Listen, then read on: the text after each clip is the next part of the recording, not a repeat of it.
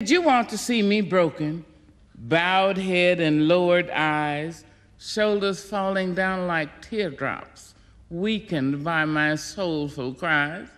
Does my sassiness upset you?